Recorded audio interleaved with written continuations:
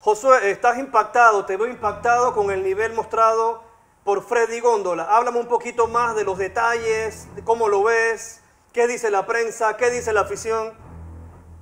A ver, lo, de Góndola era algo que no se esperaba. Te voy a decir por qué. Porque el fichaje bomba de la liga no fue Góndola.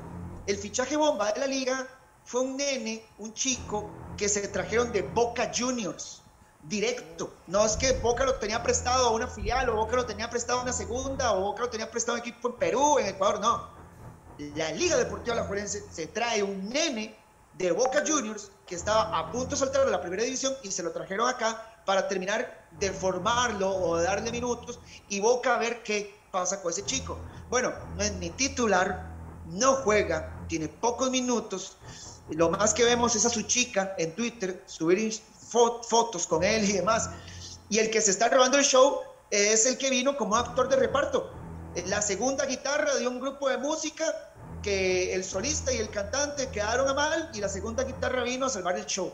Góndola está siendo uno de los mejores jugadores de la Liga Deportiva Alajuelense.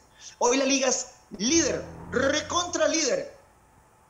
Tiene una final nacional prácticamente asegurada. Es el equipo que mejor juega. Es el equipo con menos goles en contra, con más goles a favor, con más puntos. Es el equipo que juega mejor de visitante. Y en ese equipo, una de sus figuras, no debo decir que la figura máxima Chepe, pero sí tranquilamente es el top 3 de las figuras de la Liga Deportiva La Colencia.